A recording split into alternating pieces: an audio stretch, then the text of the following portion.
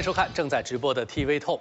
中学生如果说在生活方面互相攀比，那会怎么样呢？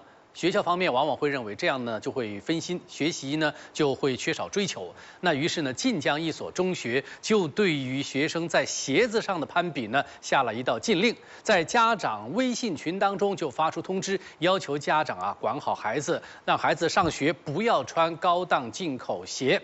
那这样的一个措施出来以后呢，马上引起人们的争议。今天我们也来关注这样一个话题，就是学校啊出台相应的一个禁令来管孩子们在鞋子方面的。一个互相攀比，这样的做法到底合不合适？一起来关注。那么在我们节目直播的时候，您也可以通过互动平台来发表您的看法。您将有机会获得由门窗幕墙五金专家金刚狼有限公司提供的奖品一份。先通过短片了解背景。各位家长，最近发现部分学生攀比之风蔓延，有的学生不比学习却比鞋子，要求家长购买昂贵的进口鞋。为弘扬勤俭节约之美德，防止攀比奢靡之风蔓延，为此年段规定，从下周开始，学生一律穿国产鞋，禁止穿进口鞋进校园。请家长配合学校做好子女工作。若发现仍有学生穿进口鞋，则请家长送国产鞋来给学生换穿。这是近日晋江一所中学某年段家长微信群中的一条通知。校方解释说，学生统一穿校服、禁带手机后，盲目攀比鞋子的风潮悄然流行起来。学校为了弘扬勤俭节约美德，引导学生树立不要在穿戴上攀比，而要在学习上攀比的正确观念，发出了拒绝校园攀比，从你脚下穿的鞋开始做起的倡议。去年也曾经没收过几双学生穿到学校的进口鞋，后来都还给学生了。好，后来呢，这个学校方面也出来解释说，这个不是学校校方来专门出的禁令，而是呢老师在家长群里面发的这么一个通知，要求家长去这么做。那各位觉得哈，就是为了防止学生的这样一个物质享受方面的一个攀比，用这样的方式是不是合适？郑老师，我觉得非常不合适。首先，我就不同意进口和非进口的，它可能措辞上有毛病，应该是。不是，哎，是不是进口非？应该是那个，应该是进口和非进口的，而不是国产和非国产的。因为我们知道世界上很多名牌的鞋，百分之八十以上都是我们中国自己生产的。还有这个禁令呢，嗯，操作起来很难，特别在晋江那个地方，你知道他脚上穿的是真名牌还是假名牌？同时，他一个最大的问题，哎，就是说他一刀切。你知道贫富差距，每个家庭。这这个差距差距很大，嗯，你要故意要那些呃很有钱的孩子买上很普通的鞋，好像这有点强人所难嘛。嗯嗯嗯，好，不好操作哈。那袁小林，其实我是觉得就是要从哪个角度看。因为我是觉得，就是说，当然就是，呃，直接这样一禁了之的话，确实就是说有很多操作上面一些小问题，这样就像郑老师说的。但其实至少来讲，学校是从一个就积极的角度，从一个官方的主流的一个就是说角度去树立一种就是说，呃，你不要说做这些就是物质上面的攀比，不要刺激到别人去跟你对，而且因为这个东西就是说，它树立一个正确的一个价值观，这个我觉得很重要。那就是说，不要从穿戴上去攀比，拼爹不是英雄。我觉得这个树立给孩子树立一个这样一个正确价值观，这个比什么都。重要，这不是鞋的问题，这是一个说正确价值观要树立的一个问题。嗯，这个鞋子呢，只是一个一个显现的一个一个现象。对对对，要管的，想要提倡的就是你不要在物质上互相攀比，要比比成绩吧。是的，梁律师，成绩当然要比。呃，我对这个学校就是想把这个学生攀比的这个领域，往这个该攀比的地方引，这个这个理念我是赞成的。他可能想形成在生活方面呢，大家尽量淡化，呃，去攀比，这个初衷我也表示欣赏，但是呢，他这个具体的做法，呃，我有点呃看法，呃，我这种做法显得有点狭隘，他把这个禁止攀比局限在什么呢？局限在这么这么具体的一个问题上，一个鞋子上面，而且呢，只是区分在进口和非进口，显得有点狭，就挂一漏万。啊，因为其实攀比之心，呃，攀比这个无处不在。而且呢，这个呃，你禁禁止他攀比鞋子，他可以攀比什么呢？呃，攀比袜子，可以攀比文具，可以攀比是午餐谁吃的好，那甚至还可以攀比谁的哎老爹这个有钱，呃谁的老爹当官，嗯，那甚至最后还可能比谁的老妈年轻，谁的老妈漂亮。啊好好。所以说以这么具体的方式来来约束学生的话，我觉得这起不到他想达到的效果。但是现在老师看到的就是这么一个苗头嘛，比如说你校服已经统一成校这个一样的服装了，没什么好比的了，是不是？就看谁身材好，穿的那个服装呢更加合身一点。那你现在。能比的可能就是鞋最是显眼的地方，所以学校才会啊，这个老师才会要求家长去配合一下。像他年年发文，年年给这个家长发短信。另外，我记得他有一个很、还有一个很不应该的做法是什么呢？说还没收过几双鞋子。嗯。那么这个我就觉得就，呃，不只是说这个不妥当的问题了啊，可能涉嫌有点违法。这就是呃没什么依据来没收是吗？我们学生是最讨厌这种家长式的管理，在家里已经被老爸老爸管了，到学校学校也充当一个老爸的角色，嗯，是吧？你能不能通过其他方式？好的，我们来看看呃，观众朋友在我们互动平台上针对我们今天的话题，拒绝攀比从鞋做起，有没有认同呢？那笨亚池他说他认同，总有人要出来管，讨厌那些炫富的、攀比的、拼爹的，支持学校做的对。尊严，他说，从小养成拒绝攀比的良好习惯，拒绝虚荣，树立正确的价值观，整个社会风气才会得到提升。是的，那么怎么来养成他这样的良好习惯呢？是不是从衣服、从鞋开始呢？那 Handy 说，每人发双解放布鞋吧。哎，这也是算具体措施。你既然不让我这样穿，那我穿什么？你给我一双鞋。文文律师于这个于律师，他说，这样的趋势是不是以后裤子、衣服、袜子都要定个标准呢？有条件为什么要让孩子穿差的呢？哎，这也是一种声音嘛，是不是？好，那各位觉得该不该给学生的鞋打上一个攀比的标签？其实我觉得问题不是在鞋上面，因为今天就像很多网友说的，鞋子可以比，眼镜可以比，这个各种都可以比。你不可能说要求孩子说今天你所有的到学校的东西你一律都是一样的，这个其实没有必要。而且就算你今天把鞋子也给统一了，你还是穷人家的孩子，他还是富人家的孩子。嗯，这个是客观的情况是没有办法去消除的。确实这个社会有人的地方就有江湖，就是有这么三六九等，就是有人家老爸很有钱，就是有人家老爸很没有钱。那学校应该关。关注的是什么？嗯，今天我不会让我的每一个学生，因为说我的家庭困难，我觉得我需要自卑，我觉得我不好意思，我在同学面前抬不起头，嗯，而不是说今天哦，你的鞋子比我漂亮，那就怎么样？他就从鞋子开始嘛，防止大家我这个无限的去进行攀比。不是这个意思，因为今天的话，你除非说全部统一。那才就是说没有攀比，但其实即便钱不统一了，出了这个校园，我还是有钱人家的孩子，你还是没有钱人家孩子。我家住别墅，你家住小平房，其实对这个东西是改不了的，是客观存在的。穿名牌鞋子的孩子，他很多并不是为了炫富。比如说，我们最时髦的运动就是打篮球，那么穿上一双好的耐克鞋，打起人打起球来有如神助，那种感觉是老师所不知道的。嗯，你要尊重他有穿。耐克鞋的这种勇气和可能，嗯，但老师应该关注的是，今天如果说作为一个孩子，我没有钱买这么贵的耐克鞋，那我在球场上面能不能说继续说保持我用怎么样的方式我去吸引说我同学对我的关注？那现在这个时候我不会现在老师在做的，他就是在赌一个窗口，这个窗口就是你通过鞋子来炫的这个窗口。但我是希望你鞋子也不炫，以后你就是专心。去炫你的学习成绩。学校学校应学校应该做的是什么呢？这个差别是无处不在的啊，不平等的现象也是无处不在的。所以你学校的要做的不是去消除这种差异，你学校无法消除这个差异。你学校应该做的是引导学生正确的去看待。这个社会上可能存在的差异，存在的不平等。嗯，好，针对这个学生在学校的这种呃消费方面的一个攀比，其实也不是说就是呃我们说的有这个措施的这个学校，其他的地方都有类似的情况。所以呢，有媒体经过深入的调查和思考思考之后呢，也理出了一个思路，我们来看看是怎么回事。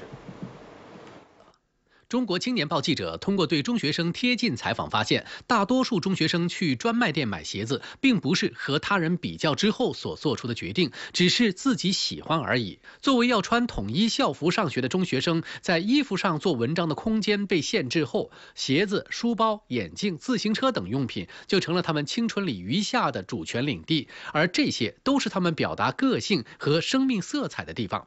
而记者在调查采访中还发现，一些老师、家长眼中的学生攀比行为，在成人世界里其实也是有迹可循的。它不只是表现在鞋子上，更多的能从服装、首饰、车子、房子、地位、职级，甚至自己的孩子在哪里上学、自己孩子的物质条件是否输给其他孩子等方面表现出来。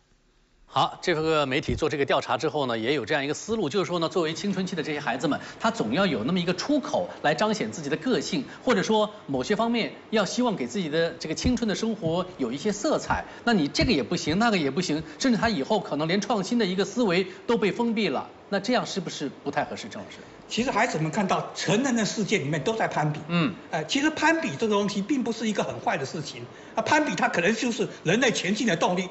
也是我们人类之所以活得这么累的原因之一，所以攀比并不是一件完全坏的坏的事情。我们现在就是说要从小给孩子树立。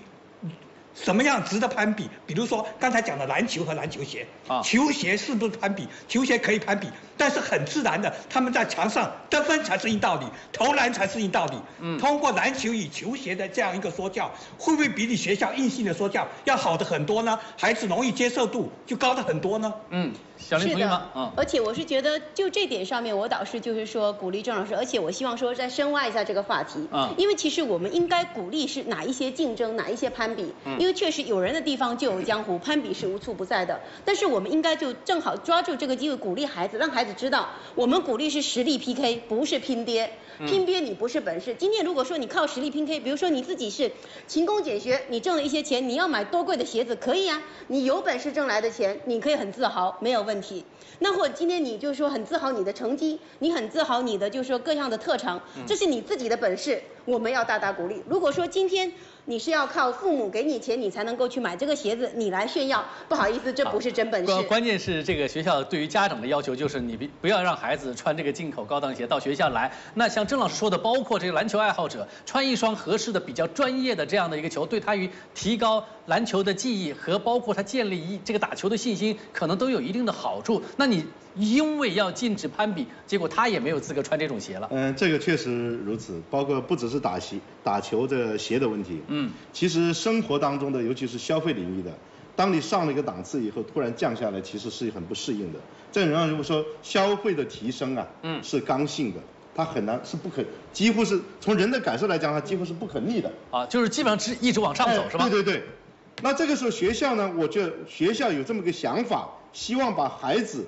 呃，这个学生呢，关注更该关注的地方，计较更该计较的领域，这个我觉得这样的教育理念，我我认为值得鼓励。但是呢，这样学校的具体的做法可能会适得其反，因为你什么呢？你灌向学生灌出了一些中，实际上是不太正确的理念。首先呢，让会让学生觉得进口的是好的，国产的是不好的。嗯，所以这个不符合事实。其次呢。你会让学生就要学生呢有你不是让他去消除这个差异，而是你要去正确看待。所以如果说你现在比不过别人的这方面，那你可以去比其他的，甚至呢也说也是我客观条件所限。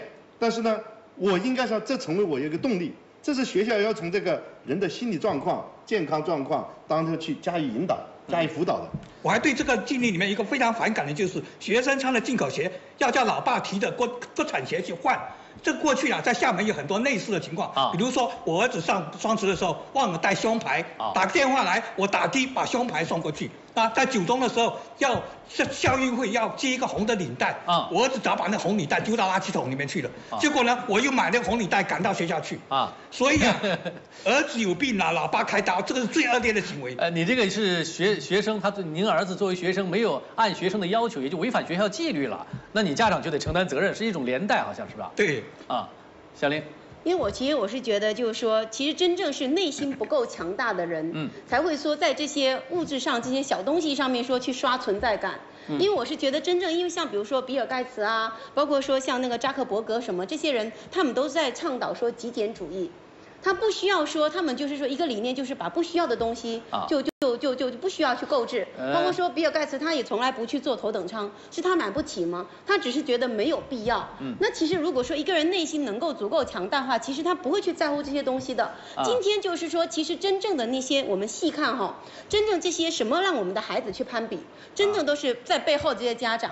家长一般就是比较没有自信的家长啊，啊比较就是说自己有点小自卑的家长，他更担心自己的孩子被人家看不起。今天如果我没给你买这个鞋，我那我的孩子在学校人家其他孩子有的时候怎么办？会不会被人家看不起？嗯其实就是家长你自己内心你不够强大，如果内心足够强大的话，一双鞋子算什么？就是强大了内心的家长，他同样在攀比。比如说他买车，他为什么买买那么好的车呢？哦，车是身份的象征嘛嗯，所以这已经蔚然成风了，在整个国家。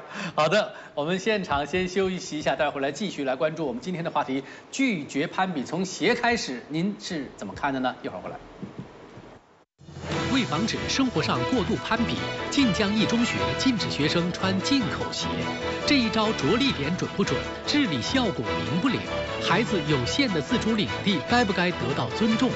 比学习不比穿戴，教育引导有没有更高明的办法？TV 透欢迎亮剑，拒绝攀比，从鞋做起，你认同吗？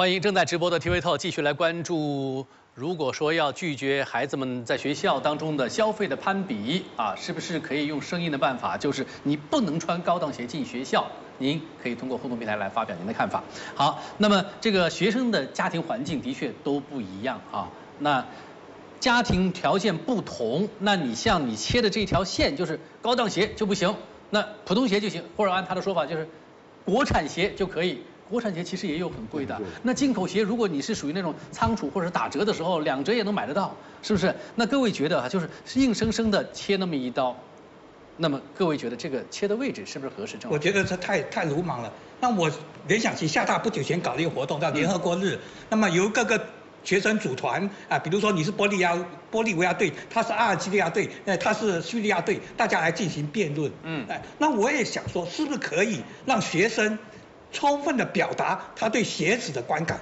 呃，从这件事情把这个坏事啊，或者把这件揪心的事变成一件好事，哎全校的同学都来讨论我的鞋子观，一个征文，一个讨论，一个辩论，那么让让孩子充分的表达他自己的观点。我想啊从小树立一个攀比观很重要，不攀比是不可能的，不攀比可能就是庸人，攀比就是好汉。但是要怎么攀比，从小要树立怎么样的攀比观，这个很重要。攀比观这个确实很重要，但是我是觉得就学校更应该关注一点，因为他就是老师做这些事情，其实出发点是好的，他只是担心说家境困难的孩子在没有办法负担这么高的消费的情况下，嗯那这个孩子会自卑，所以我觉得其实老师要解决一个问题，就是说当一个孩子家境不好的孩子在其他家境较好的孩子这个群体当中，他应该自卑吗？家境差我就。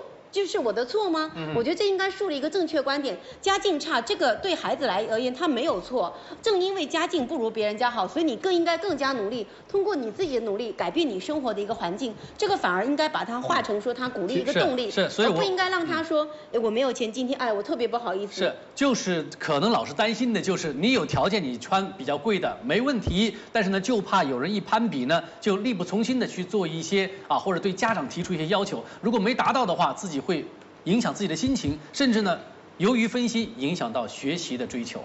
这是老师把这个教育的功能给简单化了。嗯，这个青春期的孩子就像开开屏的孔雀，他肯定要有外表的，靠外表去吸引人，几乎是一种本能。嗯，所以这个这样的年轻的这个青春期的孩子，你叫他说不要比颜值，要比才华，比气质，他也听不进去。哎，你现在现在好多影视剧都在比这些东西就我个人深有体会，应该说我读书的时候，我是是家庭条件比较差的。啊。所以当时呢，留长头发比较，我觉得比较好看。当时学校不许留长发，但我也是属于学习好的，不想让老师认为我是坏孩子。我到留长发，悄悄留后，每次到学校就是戴着帽子的，哦然后出了校门赶紧把帽子给取掉。要是王涛，我自身有这种经历。啊，你这种有点小逆反的哎意思，就是说你还是希望有酷酷的感觉。所以这个年龄的人呢，你从这纯粹是把他的外在的东西一刀切，其实有时候会带来给他们引起他们的反感，可能反而得不到你想而且要的效果。今天你就是从头到脚都统一了，又如何？出了这个校门，我还是有钱的，你还是没钱的。你有本事把他家也都给统一了，你把他父母都给统一，我看看，这个其实没有必要。但关键是你在学校，大家都在同一个这个舞台上面，你就容易去互相比得出来所以需要。你回到做的家就没有是说，多少机会能够我跟你比的时候，坐在一起的时候，我今天不会因为说我家里面没有钱而我感到自卑，我就要做到是这点，而不是因为说鞋子的问题或眼镜的问题，什么什么文具盒的问题，今天是橡皮擦的问题，不是这些其问题。实你学校教育的功能之一，很大程度上就是要教让这个学 学生如何的社会化。你要教育他如何跟自己比自己富的人相处，如何跟比自己穷的人相处，如何平等的去对待跟自己不一样的人。其实是拿自己的优势是去跟别人的优所以你在势相比，不要拿自己的弱势跟别人优势相比。你如果在这种适当差异化的环境当中，其实这正是进行这种心理教育的一个好的机会。嗯哼，好的，呃，针对青少年的这个教育引导哈，各位除了我们现在了解到的晋江的这个学校老师对于家长的这个要求之外，哎，还有没有更合适的，特别是更具体的、便于操作执行的？不然学校方面、老师方面也不知道怎么来操作呀。如果光凭主观的说，哎，你这个不合适，你那个合适，标准在哪里？张老师？我觉得学这一个学校和一个学教教育学生有善良有爱心，嗯那么这攀比有一个最糟糕的结果，就是让穷的学生很自卑。那么穷呢，它不是一件可耻的事情，但是它也不是一件光荣的事情。嗯如何爱护我们穷学生的那个有点自卑的心理，这个要从每所学校每个人都做起。是啊攀比做可以，但是你不要伤到其他穷孩子的心。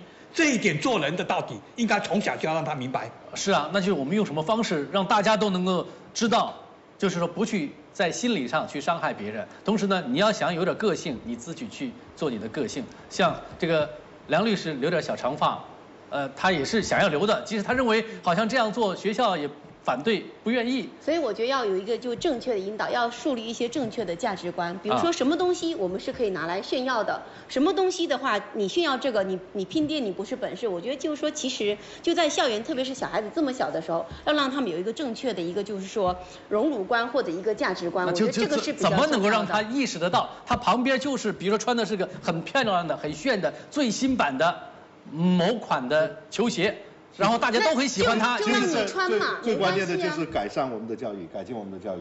因为青春期它比胡适，其实它是为了比较漂亮，可能吸引异性啊，吸引同辈。